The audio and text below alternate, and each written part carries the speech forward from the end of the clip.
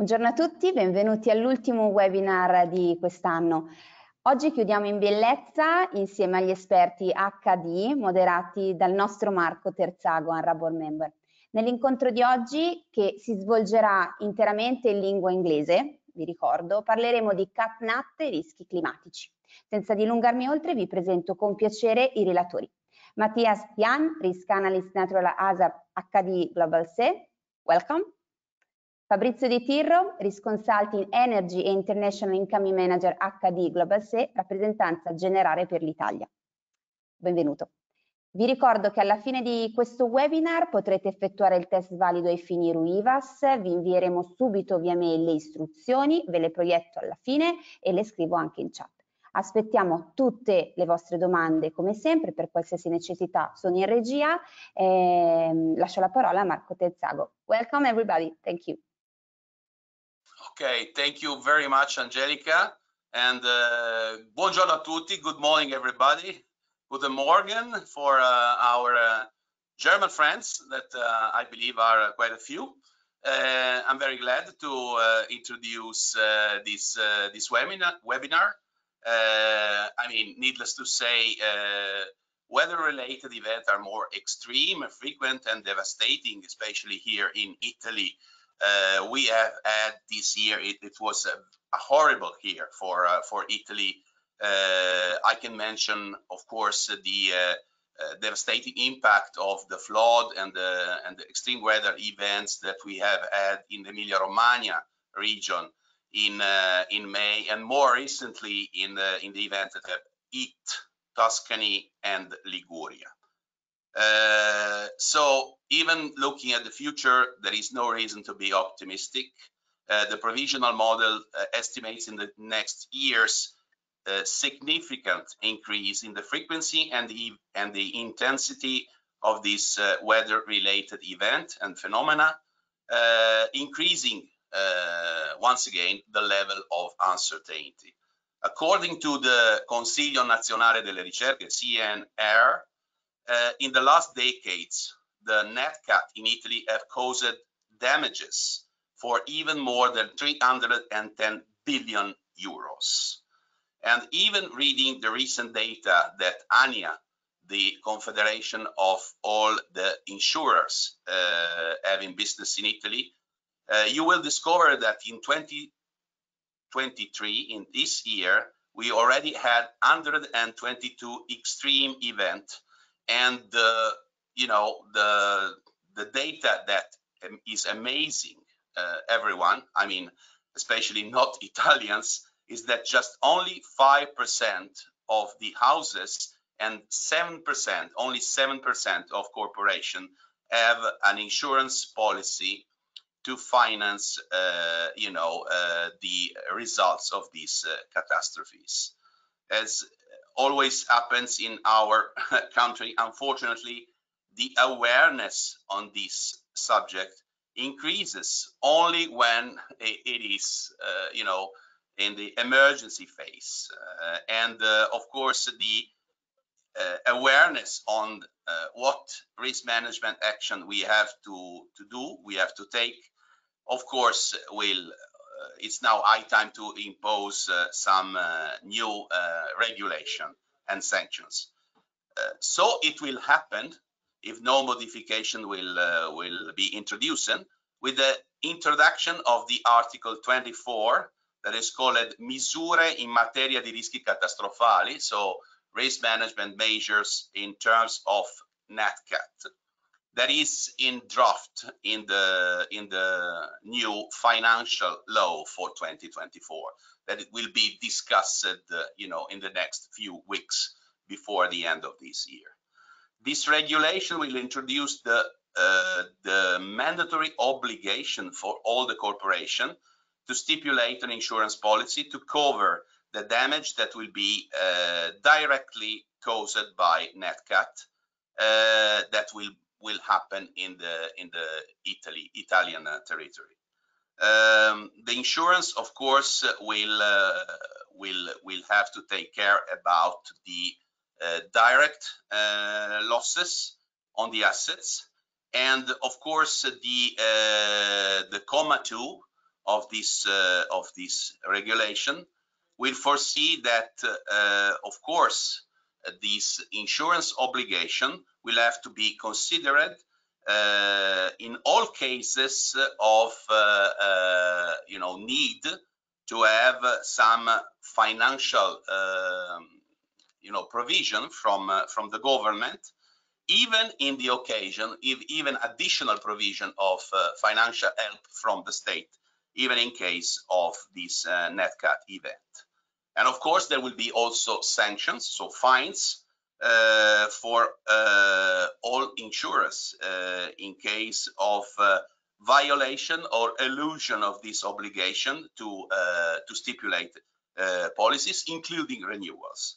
Of course, IVASS, the Istituto di Vigilanza sulle Assicurazioni Private, so the, the, the authority for regulating uh, insurers, uh, can, you know, uh, sanction insurance companies uh, not uh, fulfilling this obligation to stipulate or to renew from a minimum of 200,000 euros up to a maximum of 1 million euros. Of course, this is not uh, normally a right way to uh, to introduce awareness. I mean, awareness should be introduced by facts and figures, and this is what we will talk about. I'm sure my friends Matthias and Fabrizio will talk will talk about facts and figures. Nevertheless, I think that uh, this is surely an opportunity to create culture in a in a forced way, we can say, and uh, increase the comprehension of a correct, uh, you know, uh, management of the assets in relation, uh, the assets of a corporation in relation to this risk. It's a first step that we, of course, as a risk management uh, community uh, participant, we we welcome very much with satisfaction because it represents the start of a, of a path that we we hope will be a virtual, a virtuous path. Uh, this is at least what I what I uh, hope. And in the future, will involve, I hope, not only corporations but also all other uh, sub, uh, all other uh, stakeholders, including uh, civil houses and so on. So this is just to introduce the the, the topic with particular uh, you know, focus on uh, on Italy. So let's talk about fact and figures, and uh, I am have the pleasure to leave the word to Matthias Jahn to start with the with the fact and figures. Please, Matthias. Good morning, everyone, from my side. So may I first of all ask to mute your microphones uh, for all of you who haven't already? that would be nice uh, to avoid the echoing. All right. Hello, everyone. My name is Matthias, and uh, I'm working for HDI Home Office in Hanover, Germany, as a risk analyst for natural hazards. And um, my first question is, um, do you see my screen already? Yeah, so you see my presentation. Okay, thanks, Marco. Yeah, before I start, let me say thank you um, to Marco, Angelica, and also Erica from HDI for all the support in preparing um, and organizing this meeting. It's my pleasure uh, to take this opportunity and I'm happy to join. Again, thanks for having me. Um, today, I would like to present the way HDI Global and HDI Risk Consulting deal with NatCat exposure and climate risks. However, it will be a general overview of all the services we offer. And um, I'm happy to say that Fabrizio will have his part right after me. So yeah, all I can say now enjoy. And I think in case of any questions, Marco, you will deal with that. And uh, I think we will, um, okay, right. Thank you. Okay, um, first of all, let me start with a quote. Um, here we go. The science linking the increased frequency and severity of extreme weather to the climate crisis has matured tremendously in the last couple of years. Indeed, Al Gore, um, he's right. Today, we know quite a lot about climate risks, and research delivers more and more information. But it is still difficult to say where climate change, let's say, uh, starts. For example, Marco already mentioned that, but let us have a look in the last years. So let's talk about the facts and figures, so to say. Um, the year 2021 was called a year of extremes.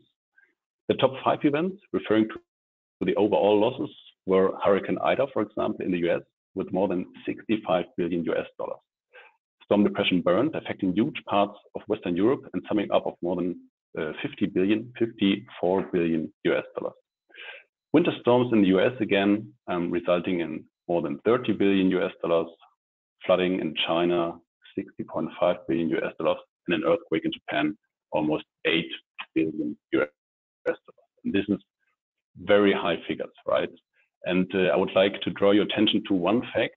Um, four losses out of five are related to extreme weather in this um, year, right? Um, 2022 was then called another year of extremes. It is not necessary to read out all the figures of the top five events to you. I think you can read it yourself. But uh, Hurricane Ian, for example, led to immense losses of 100 billion US dollars. And again, four of the five um, of the top five losses refer to weather-related events. And what about this year? Um, there are no figures for the whole year yet, but even in the first half of the year, we had already high losses in the US due to severe weather. We had record temperatures in many regions and very high water temperatures in oceans, plus there were droughts in Europe and extreme wildfires in Canada. Weather-related events seem to play an important role, and the, the historic record somehow, how can I say, somehow confirms this feeling, so to say. Let us have a look at the historic record. The development of overall losses in the global market caused by weather-related events is quite impressive. Um, but I guess it's not a surprise for most of you. I think most of you, or a lot of you, are already familiar with these kind of charts. Um, the linear trend is clear losses increase. Um, there are different reasons for this. Back in the 70s, the 80s, and so on, all risk wordings, all risk policies were not standard. Policies covered fire, lightning, explosion, and aircraft. Natural perils um, had to be included and negotiated into the policy, so to say, so to say, separately. Another reason is also quite simple. The number of clients and thus the amount of losses increased due to more people living on the planet compared to the 70s and 80s more clients, more losses, so to say. And kind of crazy, but people seem to love living in exposed areas and not in northern Germany where I live, which is probably the most boring area in the world when it comes to natural hazards. But I'm quite happy about that. So there are growing urban centers in exposed areas, for example, such as Florida. And um, this also leads to increasing losses. The question is, is this trend also to be explained by climate change? Do we see climate change in this chart? This is, to be honest, this is a difficult question, and it's not possible to allocate events of the past clearly to climate change. Of course, as you can see in the chart, there are extraordinary years, for example, like 2005 with hurricanes Katrina, Rita, and Wilma, or 2017 with Harvey, Irma, and Maria. And events like these suggest that climate change is playing its part. And, uh, this statement is somehow support, uh, sorry, and this statement is somehow supported by science. As you can see here, according to the latest IPCC report, it is expected that exposures will change, right? Even areas with low exposure may be at high risk in the future. Tropical storms are, among others, mentioned as natural hazards that could worsen. Please remember the first slide saying all the um, tropical cyclones causing high losses. So on the one hand, we have a rising trend regarding overall losses. And on the other hand, we have scientists saying we need to expect even more extreme events to come. So let me put it in my own simple words, so to say, I think we need to be prepared, right? And that's what it's all about. And the UN somehow nicely summarizes it. However, greater action and ambition will be needed to cost effectively manage the risk both now and in the future. And there are two parts in here. Now, and in the future. And this is exactly what I would like to share today, to show today. But uh, first of all, let us start with a now. So the question is, how can a reliable risk assessment be performed? How can the current exposure of the site be determined? As you can see, we do have a lot of hazards which need to be addressed. And risk managers, brokers, clients we as HDI want to know what perils are locations exposed to. And here comes our global atlas of natural hazards into play, ARGOS. What is ARGOS? It stands for Accumulation Risk Geospatial Online System, which is quite a bit complicated. So uh, I think it's okay to stick to the word ARGOS, right? ARGOS is a tool which has been developed in-house and is currently provided to internal users only, but this will change next year. Argos will be available for external users as well. Um, the Argos detailed information on the exposure of locations are provided. We use global hazard maps to identify exposures. Here's an excerpt of the tornado, the tsunami, and the earthquake hazard map. But there are more maps. Let us have a closer look at the global flood map, for example. The flood map in Argos has a global extent. This is true for all of our hazard maps. All of our hazard maps have a global extent. Um, and the flood map considers both river floods as well as floods caused by heavy precipitation, which is quite important these days. Um, data is provided by KatRisk, which is an American company and based on both a high resolution terrain model and a climate model for precipitation. For floods, we are able to determine the water heights for six different return periods for each place in the world. Let us have a more detailed look. As you can see, it is quite easy to determine the flood exposure of any point on the map. Water heights are given for each return period, be it 10 years or 500 years, or anything in between.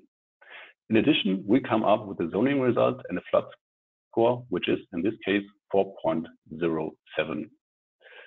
The score is implemented um, for each of our hazard maps. It is a harmonized system, so to say, of grades between 1 and 6, with 1 being the lowest and 6 being the highest exposure. In the case of flood, the score considers all water heights and determines the exposure. The zone, in this case, this is 5, gives advice of how often the site is flooded. 5 is the highest zone and indicates the site is flooded every 10 years.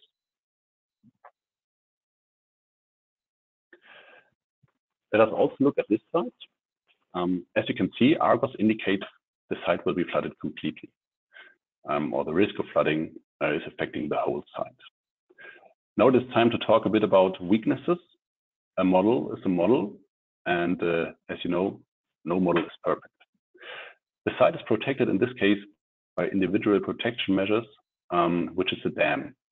However, Argos does not seem to consider this. And the question is, how can what what can we do in these cases? Um, we always try to deliver as reliable results as possible and do thus check further sources. In this case, protection measures are considered by local maps published especially for that single region. Uh, this guarantees a full and transparent approach. Okay, what else do we have then? Flood. Let us jump to the wind perils. We differentiate between three perils as we believe detailed knowledge about exposure allows to build up resilience with pinpoint accuracy. It is a difference if a site is exposed against an F4 tornado or a Cat 5 hurricane, for example. In the chart, you can see that the different types of wind come along with different scales, and even more important, with different wind speeds. Knowing the site is exposed to high wind, so to say, does not necessarily help. High wind can be a lot of things, and the better we know about the characteristics of an event to come, the better we can define protection measures and recommendations to deal with it. Here we have um, three maps of our wind perils. All three wind perils um, are analyzed individually to keep full transparency for risk managers, brokers, underwriters, and of course for our clients. As I said, here are three small parts of the hazard maps they are also covering the whole globe. Um, and as you can see from left to right, it is tornado, tropical storm, and extratropical storm. Just to give you an idea, and all of these maps refer to a return period of 100 years. Earthquake. Another example is, of course, our hazard map of earthquakes, which provides information about intensities of earthquakes to be expected at a site. Historical events are also shown, and for significant events, we provide detailed footprints, um, which are published by other institutes, for example, the United States State Geological Survey. These footprints show the intensities of the event in different scales. Here we have the so-called modified Mercalli intensity, but footprints are also available, for example, in peak ground acceleration to account for more technical background. All in all, using Argos allows to perform a complete risk assessment. Each peril is analyzed individually, zones describe the intensity of the peril, hazard scores define the exposure. Once all perils are zoned, users get a first overview, so to say. In this case, there are some perils which indicate high intensity expressed by the zone. In this case, it is namely tropical storm, lightning, and flood. However, once the zoning results are translated into our hazard scores, it comes clear that tropical storms and floods are expected to bear the highest exposure and thus the highest loss potential. The scores allow to easily to compare perils, and it is thus easy to see where highest exposure comes from. The hazard scores are finally summarized to the position score, which is a good indicator for the overall exposure of a location.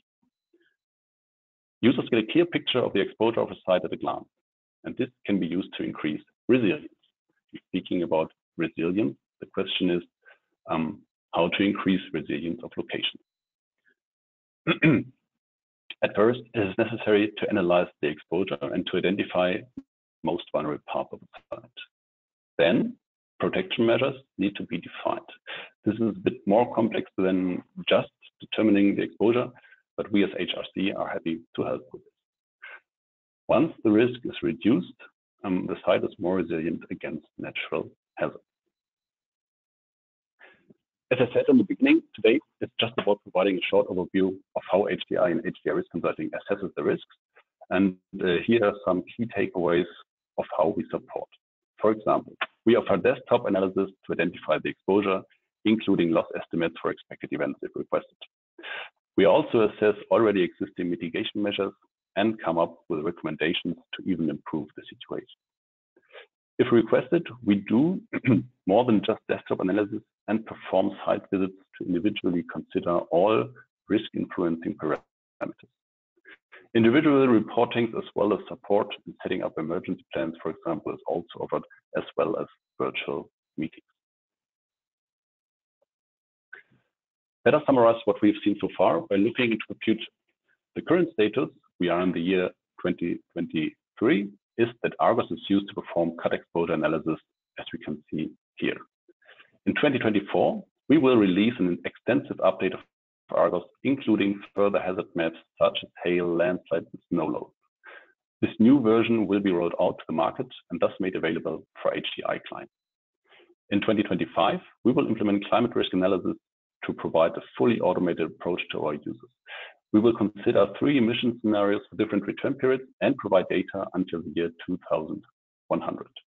One can say to account for changing climate patterns, um, we look into the future. But the question is, how does this work? Um, as I said, we will consider three scenarios being different SSPs, so-called shared socioeconomic pathways. These pathways are climate change scenarios of projected socioeconomic global changes up to 2100. These were defined in the IPCC report in 2021. In simple words, um, they describe and consider the emission of greenhouse gases into the atmosphere. SSP 8.5, for example, at the left, the business as usual scenario assumes that there will be no reduction of emissions at all. Even in contrast, emissions will rise throughout the 21st century. Best case is SSP 2.6 on the right, which means it is assumed emissions will be will be cut to an amount which is in line with the Paris Agreement to achieve a maximum increase in global temperature of 1.5 degrees Celsius. And in the upper part, as an example, you can see a different rating. They are provided for different scenarios and errors. We will come to this in a second. But the assumption, the simple assumption is the more greenhouse gases are emitted into the atmosphere, the higher the exposure in the future. SSP 8.5 means highest emissions, SSP 2.6, as I said, means lowest emissions. However, this is a bit too simple as there are a lot of parameters to be considered and development of exposures is different for different perils and for different areas in the world. These information are summarized on hundreds and hundreds and thousands of pages within the IPCC reports. So the question is, how can we know um, how the risks change over time. Well, it's not only us, it's a corporation. We have a partner called Mitiga Solutions, and Mitiga invested a lot of time and expertise into research and data validation. So in short words, Mitiga delivers the data, which is finally used by us in order to determine the exposure over time for our clients. And what we do with the data, however, not in a fully automated approach, this is to come in 2025, is to determine the impact of climate change for different perils and scenarios. For example, let's assume we look at a client with 300 locations all over the world.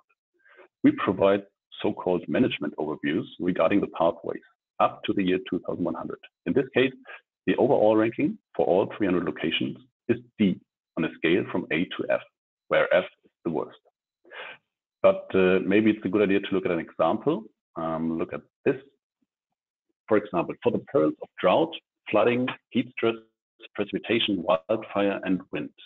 Information about the development of the risk over time is given for the 300 locations by providing scores for each of the years until the year 2100. The data can be analyzed in five-year increments. However, here the years 2030, 2050, and 2100 are given as examples. Looking at droughts, for example, it comes clear that the rating of the client will worsen from B to D in 2100. Remember, F is the worst possible rating. And we can even dive deeper. Um, let us provide more detailed information. Information about the number of locations at risk from the respective peril are given. Again, compared to different points in time. In this case, let us look at the 230 and 2100. Looking at drought again, in the year 230, 180 locations of 300 are rated A and 90 are rated B. This is different in the year 2100 as the risk of drought increases under the business as usual scenario, SSP 8.5. Um, there's a shift of location towards worse scores over time. The same is performed for other periods of flooding and heat stress. And also precipitation, wildfire, and wind.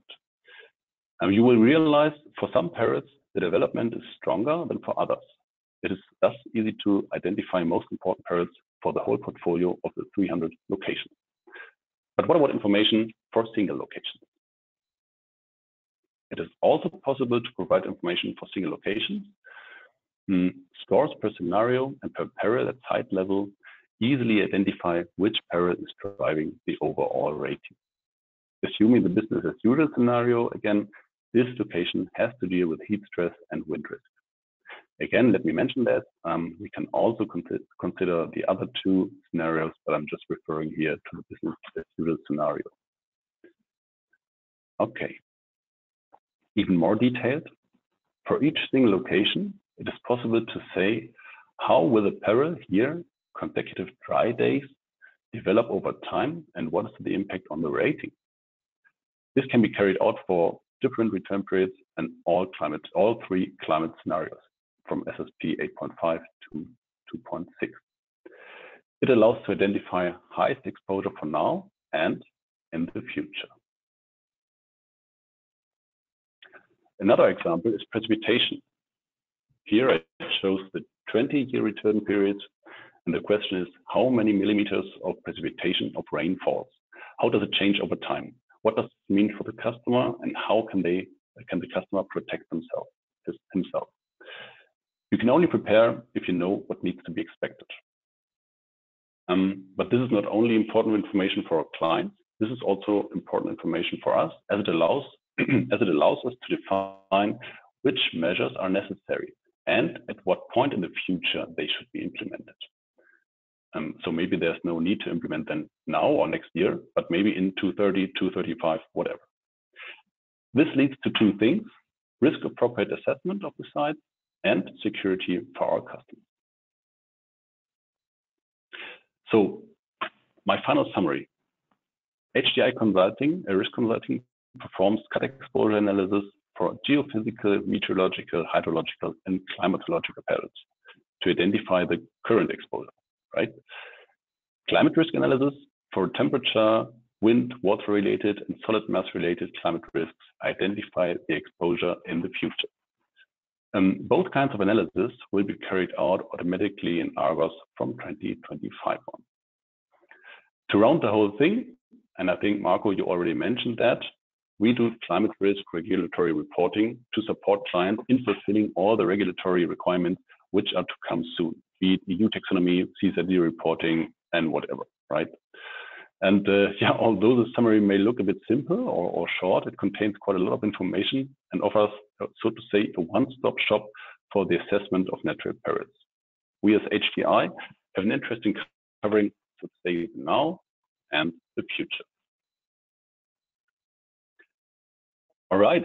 Um, all I can say now is thanks for listening. And in, in case any questions appear, or if you would like to dive a bit deeper, feel free to reach out to us it's not just me, but our team, which has a mail address. Um, you can read it, HRC Natural Hazard at HDI Global. Um, we are happy to assist. We're happy to discuss. And uh, yeah, feel free and uh, thanks again. And of course, Marco, I'm not sure if there are any questions right there now. or questions, of course. Are... And uh, okay. of course, my, my role as a moderator is, uh, of course, very easy today. I mean, uh, German punctuality is always on top. Uh, there is still some uh, some time, uh, so we are, uh, you know, ahead of schedule.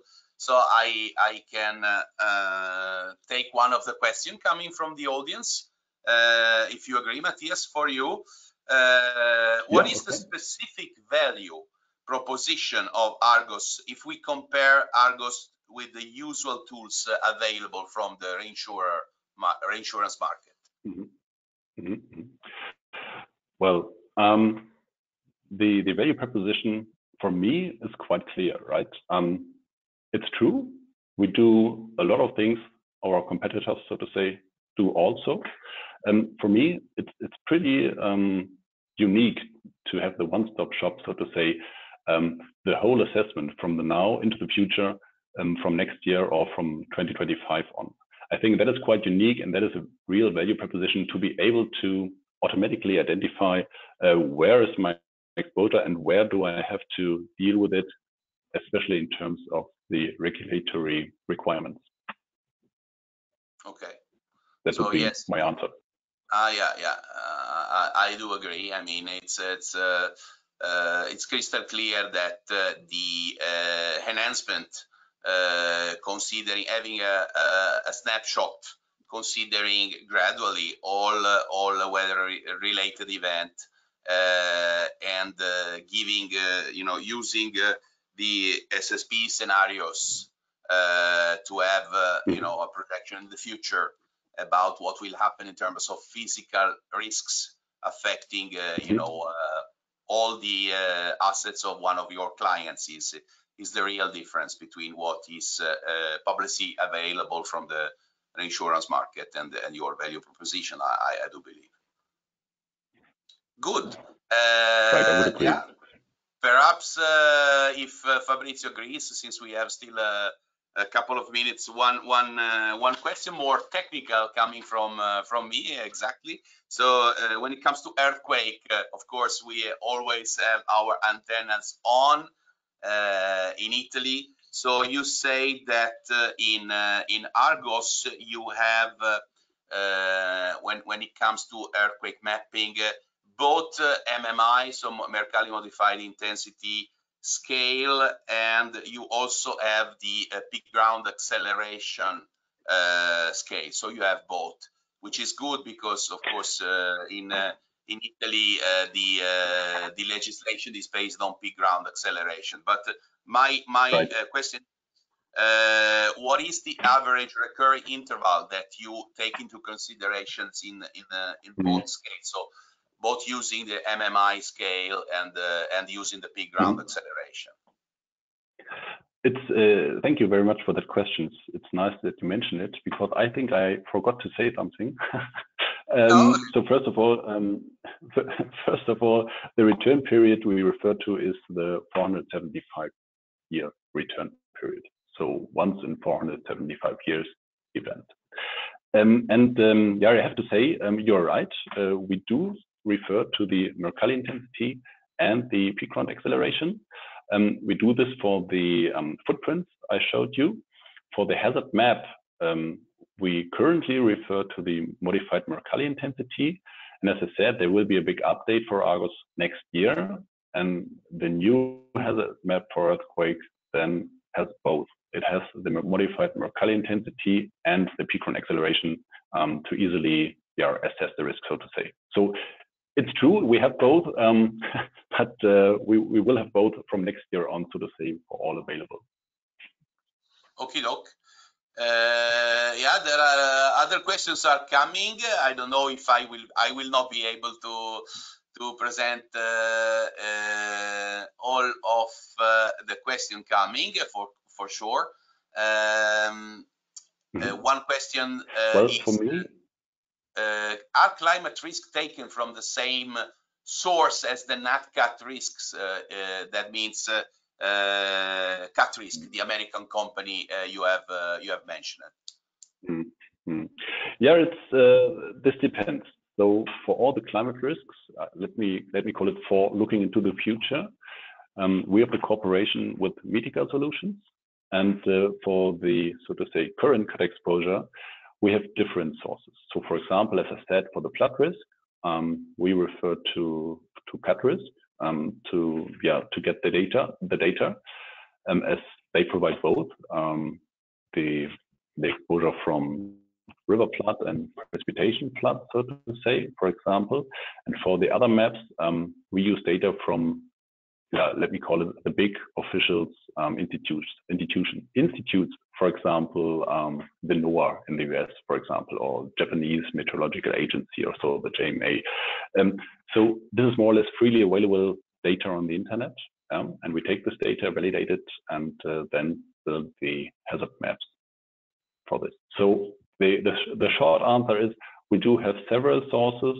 For climate risk, it is Mitiga, um, and for the rest, it is different, diverse sources, so to say. Okay. Vielen Dank, uh, Matthias. I think uh, uh, we have uh, used all the time. There is one question which I think would be great to introduce the presentation of uh, of my friend Fabrizio. That is, uh, how can okay. you use Argos also not only to categorize climate risk, but also to try to drive loss prevention in the climate risk. I'm sure that you will talk okay. about this, Fabrizio, in your presentation. Okay, so yeah, let me let me say thank you again, and I mean, in case any questions come up, it's no problem to to clarify at a later point. Yeah, I'll be available. Okay, but Fabrizio, the stage is yours, I think. Thanks. Yes, of course. Thanks very much, Matthias, once again. Thanks, Matthias. Uh, thanks, so uh, good morning, everybody. And uh, just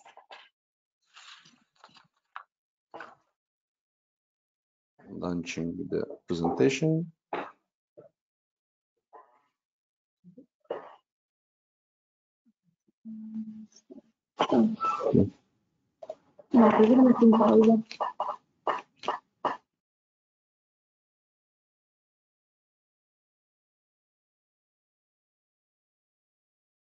Can you hear me now? Okay.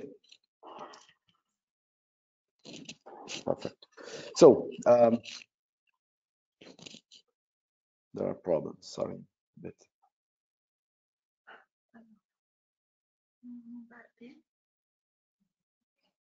Okay. No. It seems I'm connected now. Can you see the? I suppose that you can see uh, the screen. Confirmation, yes, confirmed. So this presentation um, is uh, aims to show you how natural uh, events can generate uh, huge losses and um, comparing these losses also with uh, consequences, for example, impacting on supply chains uh, in this uh, globalized world. Uh, something that happens somewhere can impact worldwide. And then we will move in chapter two to a very brief um, uh, glance to natural hazards, especially focusing on this year and this year trends. Uh, and then we will move on the chapter three. That's exactly uh, the question uh, you asked me, Marco. We will move from Matthias' presentation aiming to a globalized approach aimed to a territorial classification of risks, uh, I can say statistical approach. And uh, we will move to how can we support our insured clients in uh, adopting, analyzing, adopting the, risk measures and uh, adopting the measure of protection improvements. And uh, then uh, we can act as a partner for our insured. Um, just move as this 30 minutes presentation uh, has a very brief time. Uh, we are not able to enter into details, and so the approach is just to introduce you to uh, an overall overview and uh, like an appetizer of what we can do. Um, maybe there will be uh, next chances of uh, going into deep into uh, depth for any detailed treatment. just start with chapter one, with the first slide, just highlighting uh, the two emerging risks, natural hazards and uh, supply chain. Uh, yearly, uh, the publishers, uh, organiza economical organizations, insurers, reinsurers, everyone tries to um, uh, make some investigation polls, surveys of opinions, on managers, uh, owners, uh, entrepreneurs, and uh, the risk perception is changing along the latest years. And nowadays, the, roughly the, the, the highest mm, threats are perceived as cyber, technological, mm, the, the news um, the, the, technological threats, uh, and on the same level, there are the, the climate change and the natural hazards. Um, after um, geopolitical instabilities, economical inflation, and so on, we have also another step with the supply chain and business interruption. Of course, uh, probably uh, uh, the last two years shortage uh, and of uh, steel, aluminium, the delays in uh, supplying uh, machineries, the difficulties in shipping something from the Far East to the West, all these matters increase the, the supply chain perception of the hazards. But these are two risks. And if we move from our first statement to the second, we can see that the globalized uh, organization is uh, a cause of our vulnerabilities to nat cat losses. Um, if um, we uh, have climate change deeply impacting on natural cover losses, we can also state that there's also a part that is impacted not by climate change, but by our vulnerabilities, our uh, microeconomic uh, organization that is impacted by any disruption so that um, process flows, um, Mm, uh, or uh, logistic activities, global fragilities, and so on, are all elements of our vulnerabilities. And uh, this axiom, we are not depending only by climate change. Yes, climate change are very, very important, but we are also depending on our vulnerability is uh, uh, can be proved by a comparison, for example, between the economical costs and the deaths generated by earthquakes. Earthquakes like, for example, volcanoes, tsunami are not depending on climate change, of course. And uh, if we, for example, just give a glance to these statistics, the statistics are uh, uh, supplied by the KIT, the Karlsruhe Institute of Technology, and uh, they are examining the last 120 years. And uh, if you uh, just give a look at the red histograms, uh, the red ones are related to um, earthquakes, the blue one to floods. You can see that the red dotted line is showing a huge increase in economical costs, also for a totally not dependent uh, natural hazard from climate change. Um, just moving to the next slides, for example, what can happen if uh, an earthquake hits uh, a, a, very um, powerful earthquake. It hits the Taiwan Island. Uh, just think the shortage on semiconductors impacting uh, automotive, electronics industries, uh, of aerospace, and so on. And uh, also in China, there's um, uh, a country uh, normally hit by several um, natural hazards. For example, I glanced at a, a statistic that told us that in 2016, um, the impact of the natural hazards, and it was not the worst year, resulted in uh, 72 billion dollars direct and 50 indirect. This means over one percent point of the China GDP. Uh, of course, uh, these impacts on uh, uh, supply chain happens also because natural hazards are capable of hitting large areas, especially when uh, they have uh, they are powerful. So uh, a Japan uh, problem, a Far East problem, can be uh, can spread worldwide. Um, closing this first part of the presentation, we can uh, summarize everything saying that nowadays material property damages, supply chain, and natural hazards are roughly similar pillars in the insurance loss in the insured losses. And uh, also for corporates uh, they represent similar threats. And uh, that not only climate change are increasing and impacting on natural hazard losses but also our vulnerability to any imbalance just move uh, now to the second uh, chapter that uh, opens to a look on the trends of natural hazard losses. And I don't want to enter too much in these figures. Our Matthias already introduced to you, and uh, additionally, uh, reinsurers, uh, all economical associations are providing a lot of these informations. Here you have uh, EEA, Environmental Agency, European Environmental Agency uh, statistic, but I just want to move you to uh, to see some uh, statistics that I gathered for you as regards this first part of the year, the current year, 2023. Um, so in this uh, statistics, uh, the Hurricane Otis uh, impacting Mexico and the Morocco earthquake are not included. Um, in this first six months of this year, 110 billions dollars uh, economically impacted world, the world. Only or 43 billions were insured, but only 6 billions were insured on 59 billions dollars uh, hitting the European countries. The European countries have been uh, impacted especially by the Turkish uh, earthquake. Uh, the Turkey earthquake alone means uh, 40 uh, billion dollars. The interesting thing is to note how, while in US we have a transfer, a risk transfer, approximately between 30, 40% to insurers uh, of the economical losses suffered from natural events.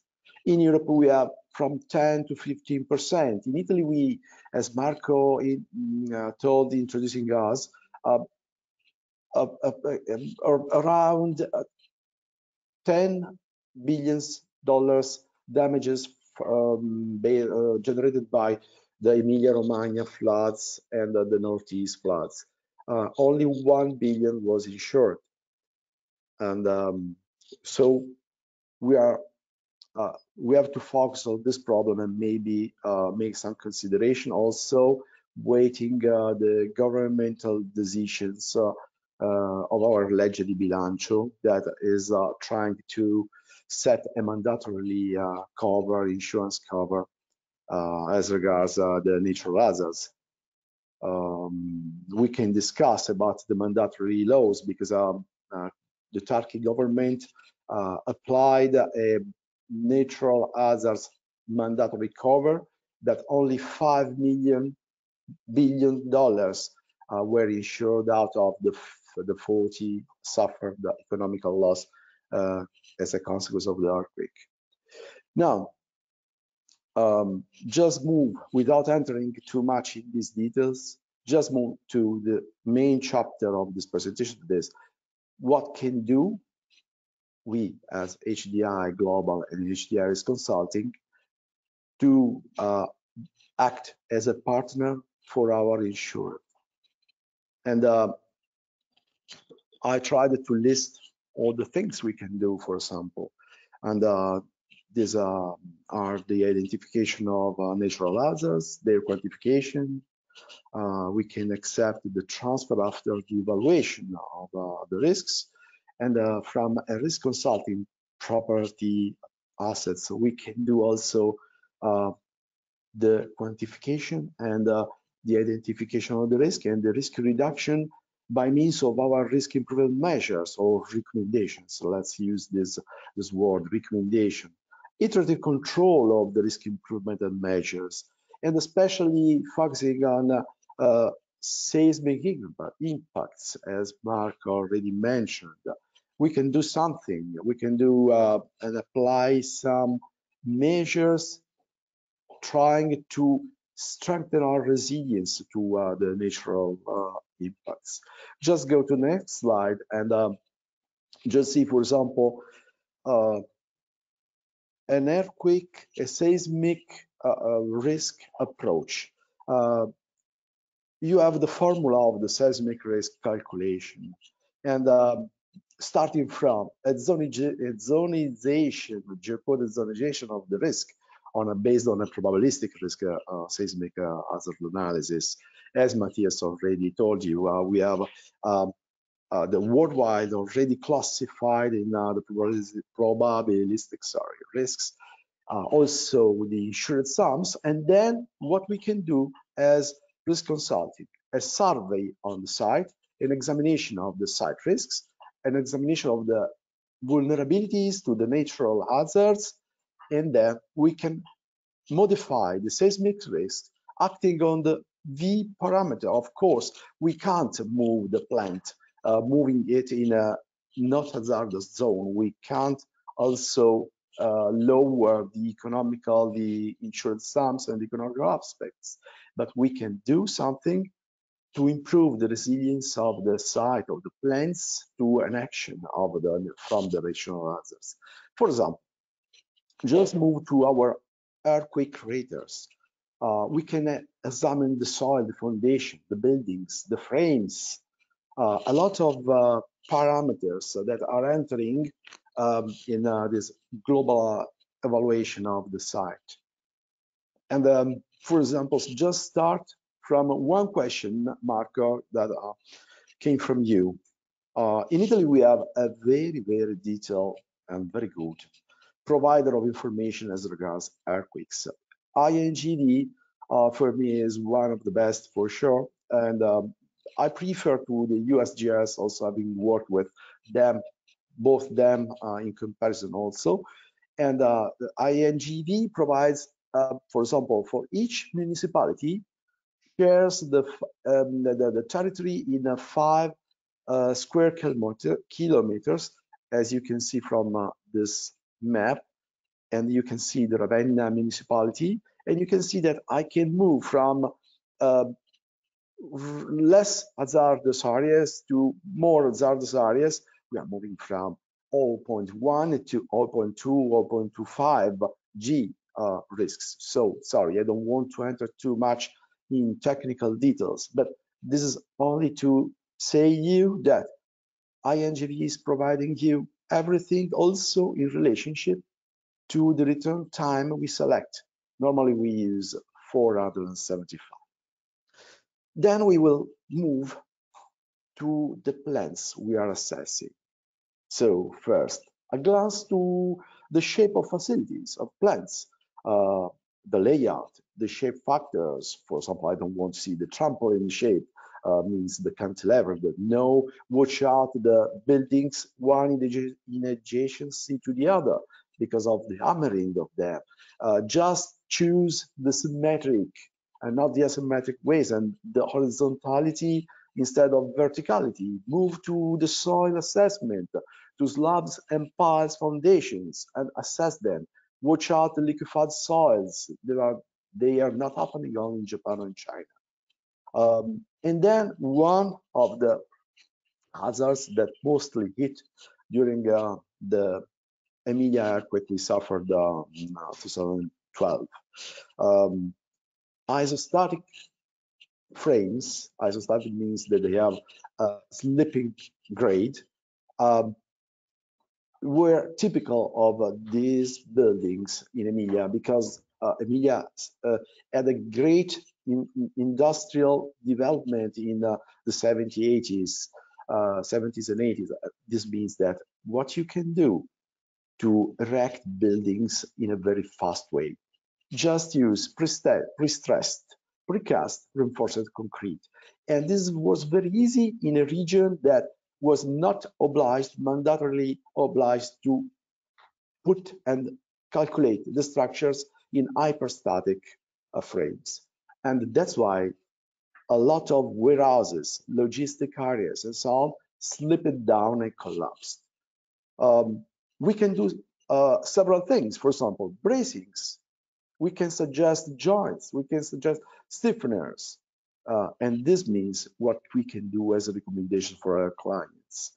Then, are we focusing on your buildings? No, not at all, because a lot of uh, hazards can arrive to plants of dealing with hazmats, especially we can focus on uh, chemical and petrochemical plants. We have to watch out to the bracings and the clamps for, for example, our pipelines, for our um, uh, trays, for our um, flammables and so on. And also we can put uh, attention on our fire protections. Uh, fire protections can be very stressed by uh, earthquakes. And uh, we can also provide you project reviews on sprinkler systems if they complies, also on fire protection if they complies to the standards. Um, I wish to show you, for example, only a video, a very, a few seconds pause on this video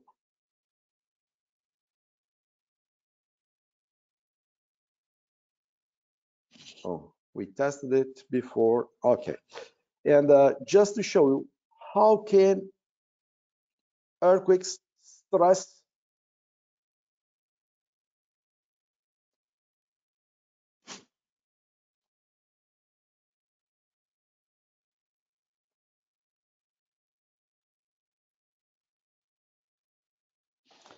sorry for the volume rising. This is only to uh, to show you how can um, earthquake stress our uh, how can stress our um, pipelines of sprinklers um, and furthermore what about for example uh, power plants or maybe semiconductor factories that are collecting uh, huge values uh, in uh, small areas or uh, dams, for example. Um, a special outlook we can uh, put on uh, Seveso plants because they can get catastrophic um, these disasters following an earthquake. Um, we already experienced some huge damages in the 2011 earthquake in Japan and um, at the nuclear power station. And uh, no one talked about this BLEVE. This also, uh, this is the last video I will show you. Uh, this BLEVE was incredible.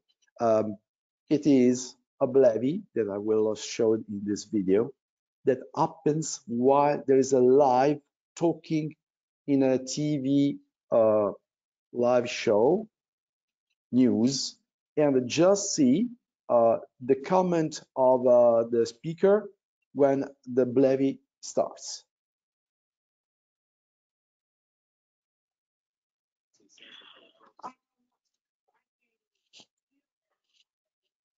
this is a, a petrochemical factory, and you can see the spheres of the LPG.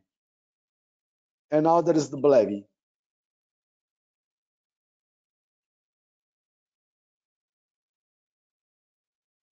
And the speaker stops.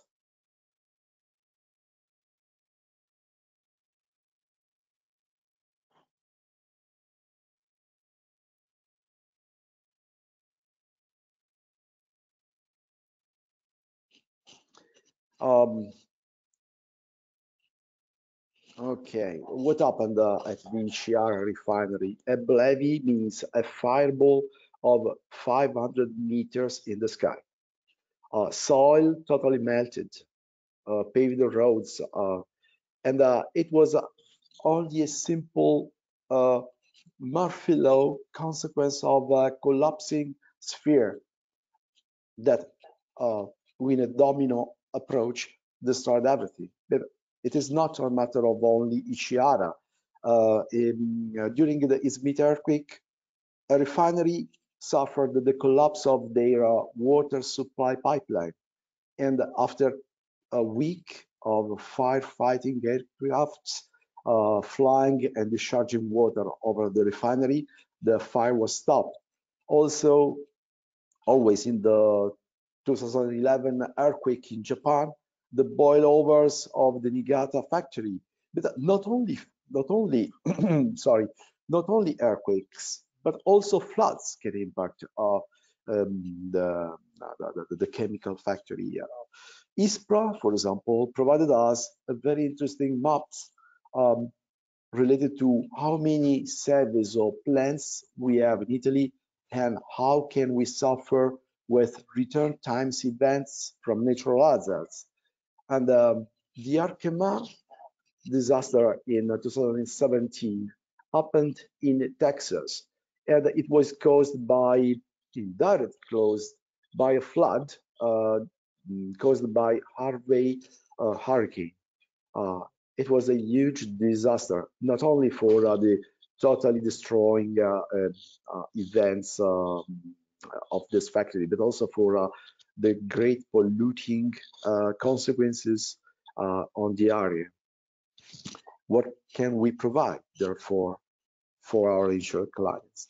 And NatCat risk analysis, and to provide, we can provide also risk improvement measures. As we talked about earthquake, too much, just move to floods and just see uh, a sample of a risk measure we suggested as our recommendation for a client of ours. Um, the client um, is operating a site that is uh, located in a um, floodable area. We examined it um, as Matthias already showed you, uh, starting from a geocoding uh, and different return times um, vulnerability of the site. Then we examined the soil and with a site survey, we examined in, the, in details all the potentiality, all the potential entrance, also from sewage, from underground channels. We uh, suggested gateways, valves, and so on to uh, generate an isolation of the area. So we suggested uh, also an inventory of uh, the main critical machinery just to rise it up, rise them up and uh, put them uh, uh, in positions that are not hit by um, the water haze as estimated by the return times. And also we prepared something as regards, we modified the emergency shutdown. The Seveso directive, without entering in these details, the Seveso directive, the um, directive three, mandatorily ask uh, the companies to prepare a risk analysis based on natural hazards. So we can do also this, assess what is done in the, the emergency shutdown plan, and then give suggestions. Um, new technologies, only one slide related to new technologies. QuakeBots uh, used to be a startup uh, 10 years ago in uh, Köln, and um, these QuakeBots are something that uh, can get uh, incredibly low vibration um, uh, vibrations, for example, generated by um, earthquakes, and also by any other uh, any other uh, matter of of stress. And in this way, they can um, they can provide information as regards one, the vulnerability of uh, the assets. Two, they can predict the arrival of an earthquake. And uh, we are mm, just studying if we can use them uh, to study dams, for example. Hydropower plants can be uh, uh, can be our studies can be supported highly by QuakeBots. And so we can go into how technologies, IoT can help us in our climate change. But as also Matthias spoke uh, before, and I leave to Glenn some news about this. And then just move to the fourth section, this is the closing section. Just briefly summarize what we have seen during this presentation. We started from emergency risks, emergency uh, natural hazard, not emergency risk, but the losses are emergency, emerging as the supply chain. Then we examined how the increase of the losses of natural hazards uh, are related to climate change, but also to our vulnerabilities, and uh, introduce what we can do as HDI Risk Consulting to provide to our insured clients uh, assessment to be partners in managing their risks and provide them recommendations to try to improve their resilience uh, against these dramatically rising uh, events. Uh, we examined also some incredible losses like the ones uh, uh, at petrochemical plants or uh, dams and so on. And I drove your attention to some recommendations. Oh, now this is only an appetizer, as I told you. Uh, what we can do, leaving our door open to any questions. Uh, we can further go into details as regards technical discussions, uh, insurance and underwriting uh, uh, topics as regards natural hazards, uh, business interruption, supply chain. Supply chain is strictly connected to natural hazards. Uh, infrastructures, I had a lot of uh, works in the past with uh, infrastructures and construction line of business in the insurance uh, business. Climate change, as also Glenn will spend some words, I suppose, on, new technologies and digitalization. Um, in conclusion, this webinar is only a general introduction, an appetizer and we will stay here for any questions for you and uh, any support for further uh, request, explanation, and so on. And uh, I will uh, also wish to uh, thank uh, the ANRA support and you all for for having listened to this presentation. And I close here my presentation. Marco, Thank you very much. Thank you very much, Fabrizio. Uh, yeah, so far uh, no questions from the audience, but uh, I have for sure some myself. Um, uh, the first one is uh, regarding uh, um, the scenarios of you know clients that do fulfill the risk uh, reduction recommendation that you uh, submit to them uh, if they are able to reduce the normal loss expectancy. Uh, so my question is, in case of uh, of a of of a proactive client that is uh, actually fulfilling all the loss prevention measures that are recommended by by HDI engineers, meaning, uh, of course, uh, earthquake bracing for, for sprinkler systems or safety shut-off valves for methane gas or in case of earthquake, or uh, as you have mentioned, Fabrizio, the uh, barriers or flood emergency response plan, uh, well, well, uh, well tested and so on. Are those measures able to reduce normal loss expectancy and to what extent uh, you can improve your uh, your risk evaluation.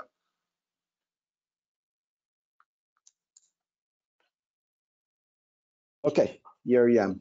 Um, yes, of course they can. Uh, for example, um, uh, just go to some slides I showed you. Uh, when you have a, a seismic vulnerability of, uh, uh, just go back to the, the, the slide uh, with the pictures of the Emilia um, earthquake in 2012.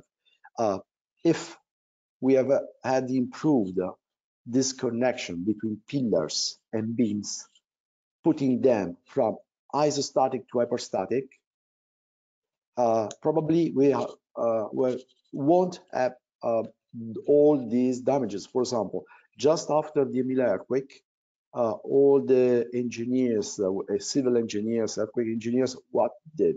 Uh, installed bracings and um, angular plates to fix the connections, pillars, beams. So just imagine how many buildings have not collapsed with these supports. Or maybe just go to the Arkema flood I showed you. Um, the CBS, this is the uh, huge American organization investigating chemical uh, uh, chemical incidents and uh, supporting HILIAS.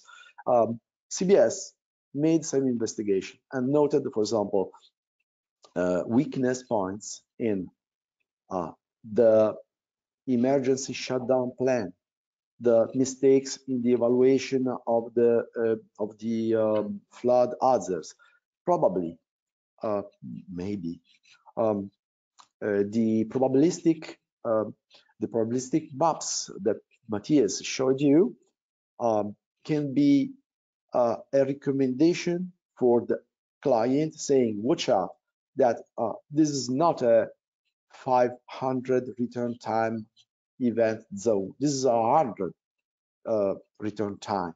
Um, for example, when I approach the, the recommended item on flood hazards uh, that I showed you in the map, uh, blocking all the entrance to my client site, I compared our Argos, the ISPRA, IRPI, and also the basin authority, and also the study that the company uh, put in charge from a consultant.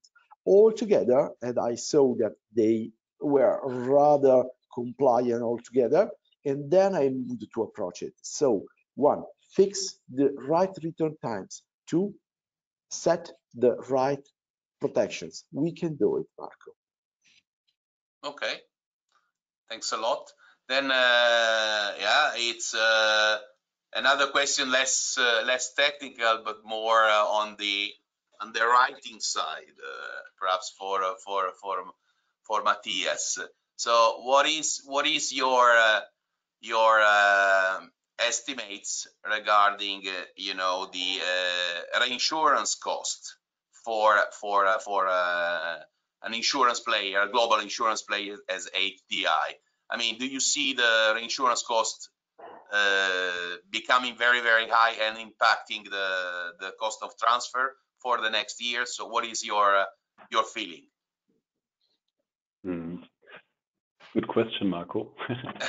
Um, I, have, I, have, to say um, I, am not familiar with buying the reinsurance uh, for HDI, so to say, but what I hear from my colleagues is exactly what you said. Yeah, costs are rising um, for years now, and, and I think it is it is expected that the costs will rise or the prices will rise for the next years as well as natural catastrophes play a more and more important role, right?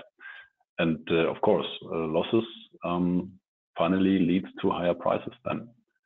But as I said, I'm not an expert in this matter, but uh, this is my yeah indication, so to say. Perception, yeah, of course, as a, as a yeah, yeah, um, yeah. I didn't want to put you in a in a in a in a in a, no, in a bad position. Fine. But I'm sure that uh, I mean uh, that for, with with the tool that you provide uh, for for your work to be able to underwrite properly uh, an industrial risk and even even uh, I would say petrochemical risk or or uh, you know very very high hazards like you know sites be subject to Seveso directive uh, it's not only a tool that it enables you to properly underwrite the risk, but also to drive correct risk engineering, uh, uh, you know, recommendations and suggestions for the clients to be able, of course, to reduce the impact of uh, of the risk. Not only, I would say, I would underline,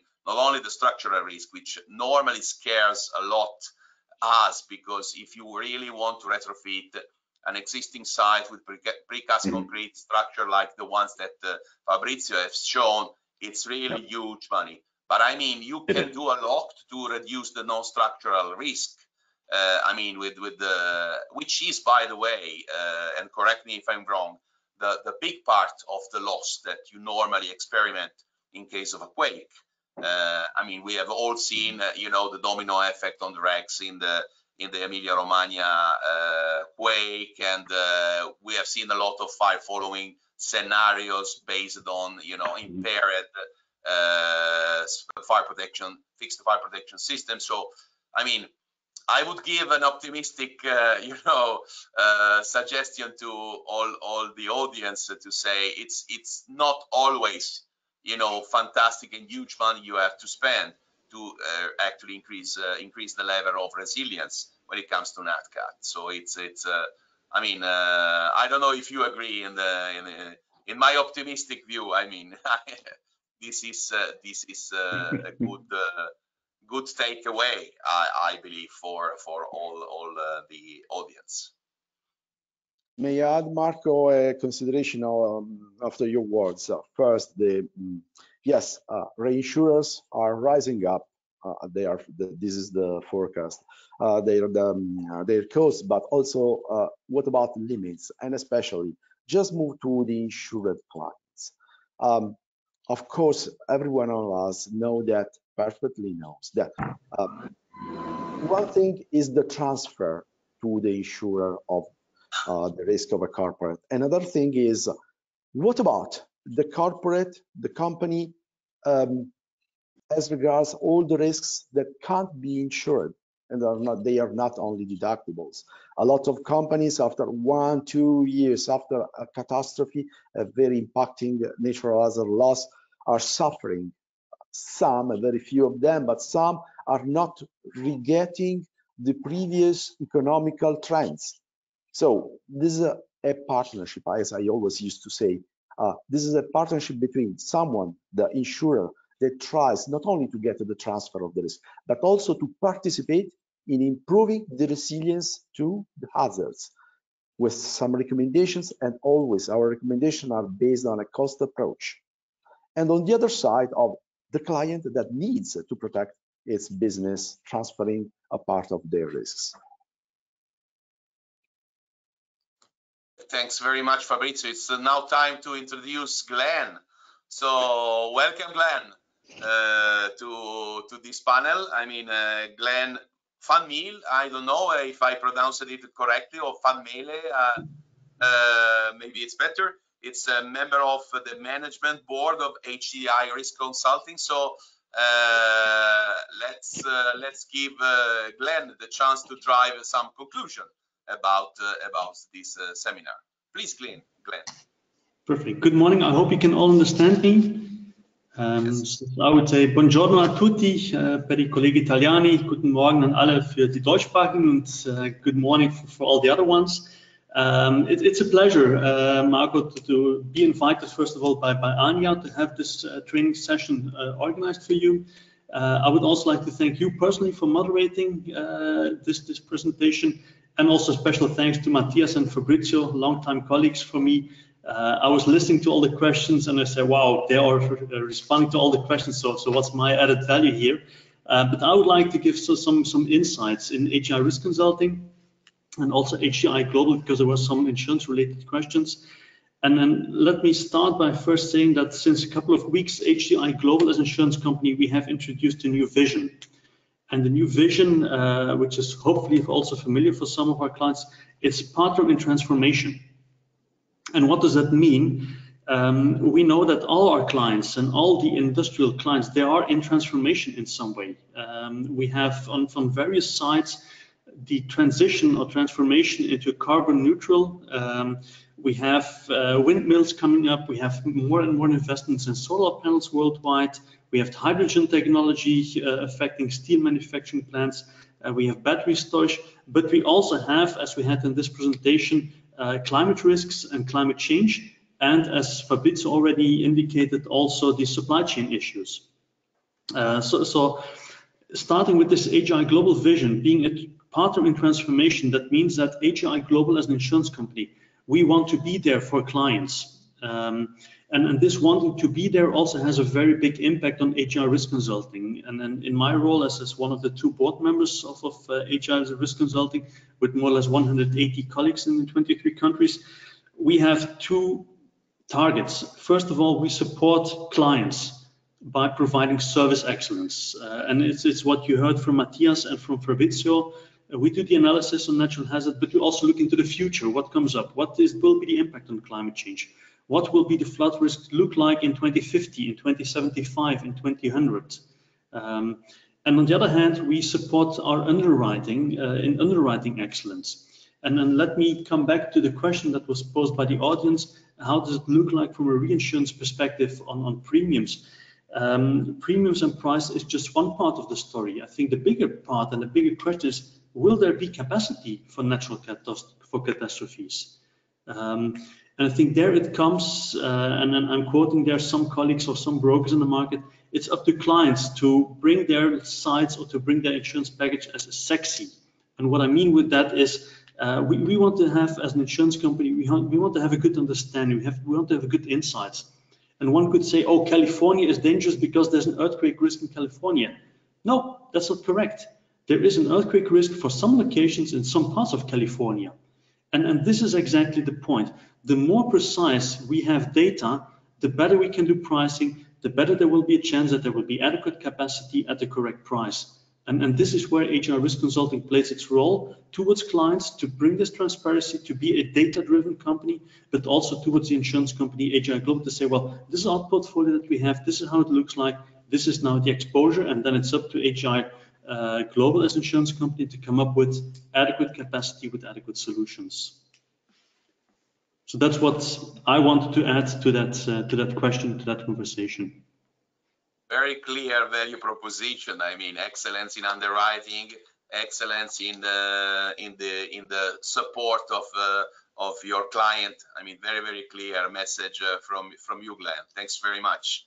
Uh, there is one question still, even if I I'm seeing uh, that Angelica is has uh, shown has started to show the uh, you know the instructions to be followed for accessing the the test that is uh, worth uh, you know uh, credits for the continuous learning in the IVASS Registro Unico degli Intermediari.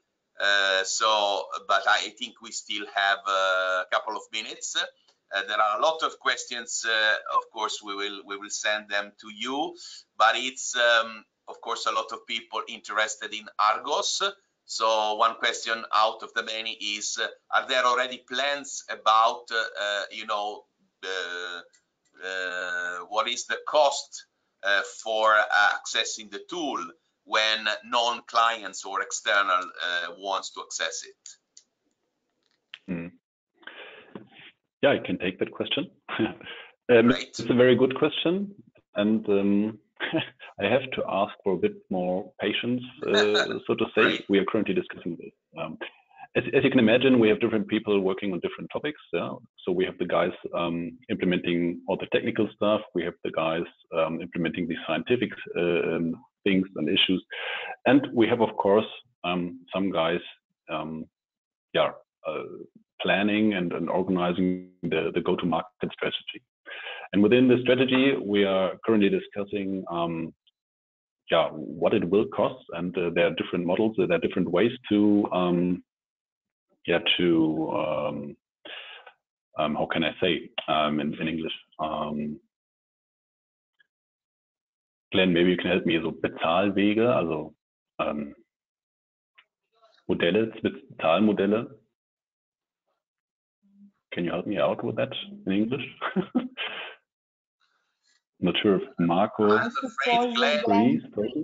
I'm afraid Glenn is, uh, looks frozen. Okay, Uh, yeah, yeah, yeah, he's frozen. Okay, okay. with the with the with the German. Oh, I, I see Glenn. It's it's. Uh, Yeah, that's- He's what I, what I wanted to say, okay. Um, so what I wanted to say is uh, there are different ways how to to build the clients for for the system, right? And we are currently discussing the best ways to say uh, the most easiest way for our clients and and so on. So the sto- the the short answer is still in discussion, and um, I'm not able to say um, any price today.